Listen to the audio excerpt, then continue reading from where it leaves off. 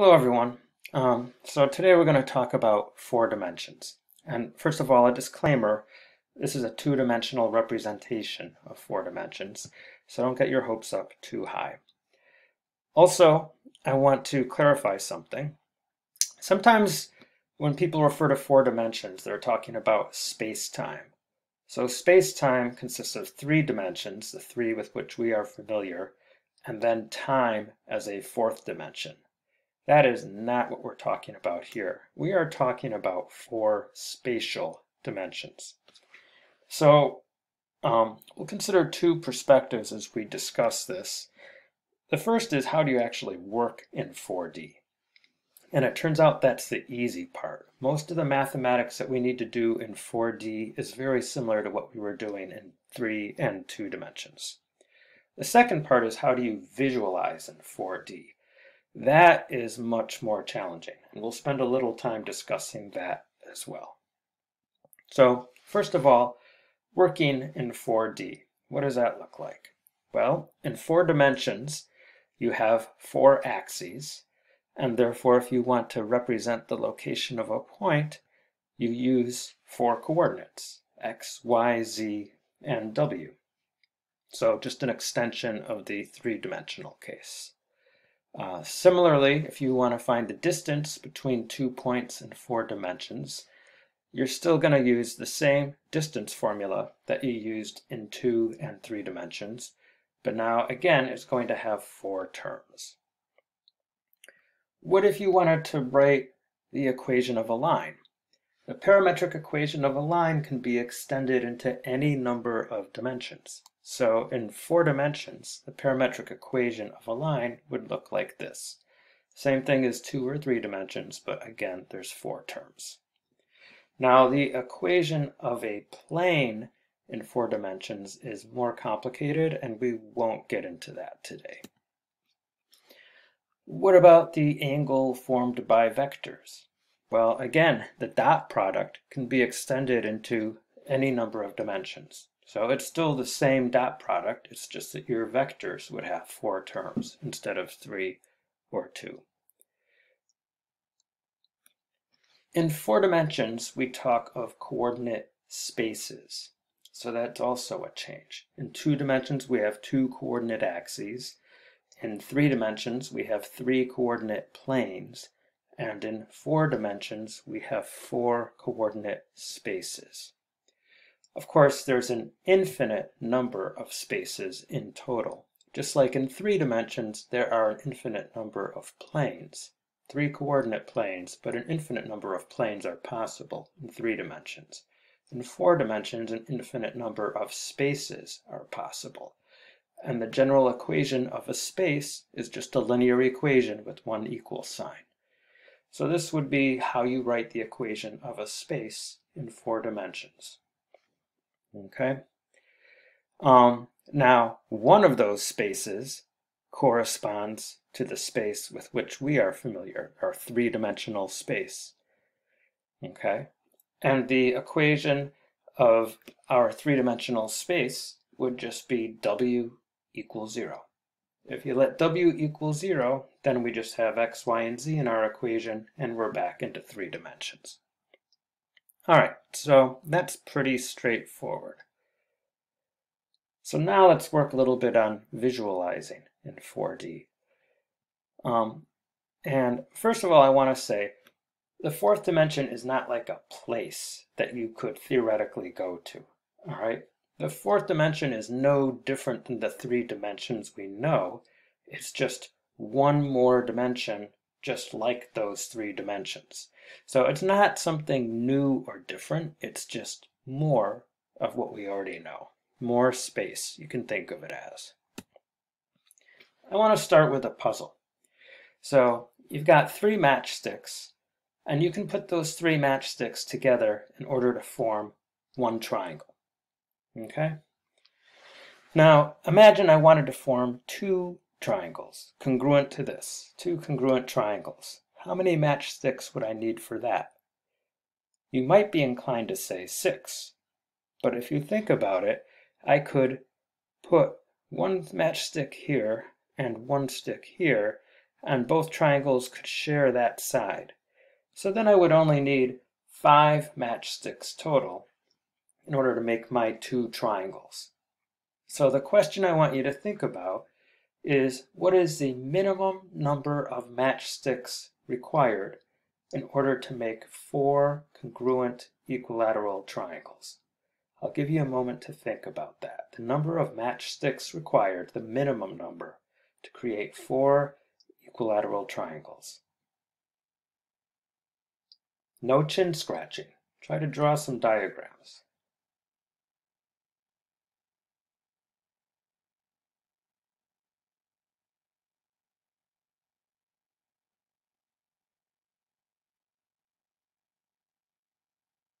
So, um, you might have come up with the number 9. And that would be if we keep adding two more sticks for each triangle.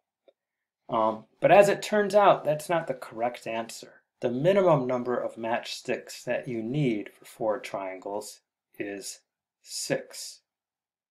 How could we make four equilateral triangles with just six matchsticks? The key is to think in a new dimension. All right. Now, if you figured this out on your own, then you can pat yourself on the back. More importantly, that sort of pop that happens in your brain when you suddenly realize, wait, I can go into another dimension and solve this problem. That's what you want to nourish. That's the that's what has to happen when you start visualizing in four dimensions. You have to allow yourself to think in a new dimension. Give yourself more space to solve the problems. All right, when might you encounter four dimensions? Well, there's some very realistic examples. Um, for instance, in chemistry, we are familiar with the formula PV equals nRT where P is pressure, V is volume, N is the number of moles, and T is temperature. All four of those things could be varying in a dynamic system.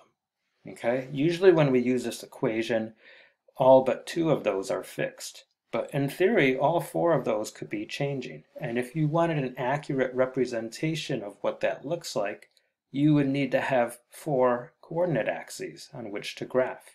You need a pressure axis, and then one for volume, one for moles, and one for temperature. So that's a very simple example of how you might use four dimensions. Um, but what about something more mathy? All right. Well, traditionally, when we graph in two dimensions, we have an x-axis and a y-axis. Um, and I'm going to switch here, I think, if I can pull this off so that I can draw something. Um, all right, let's use this. Okay, so as I said, in two dimensions, we've got just those two axes, but we've already seen that um, once we got into complex numbers or two-dimensional numbers, what we think of as a one-dimensional number actually can have two dimensions. It can have a real part and an imaginary part. So imagine a coordinate system and we can think of this as x and y, but this is really only the real part of x, and this is only the real part of y. What if we add another axis like this, perpendicular to both of these, and this is the imaginary part of x, and then we add another axis, maybe like this, and that would be perpendicular to this, and that would be the imaginary part of y.